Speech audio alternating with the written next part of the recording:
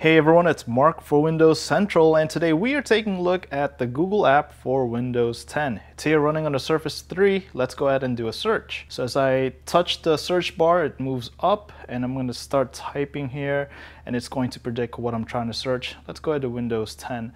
So just like the website, it's going to show the results here. So what's also great is that this supports voice search. There's a microphone icon here on the search form. Let's go ahead and try that. How many calories in a Shake Shack burger?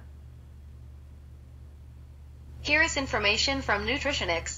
You could also open other Google services from here. Just tap the dialer on the top right corner. So you could open Gmail, Calendar, Drive, Photos, Google+, and even YouTube, which will open right now. So this is like going to google.com or going to youtube.com but you can reach all those Google services under one application. All right, so that's a quick look at the Google app for Windows 10. For more Windows 10 coverage, head over to windowscentral.com. I'm Mark Guim. Thanks for watching.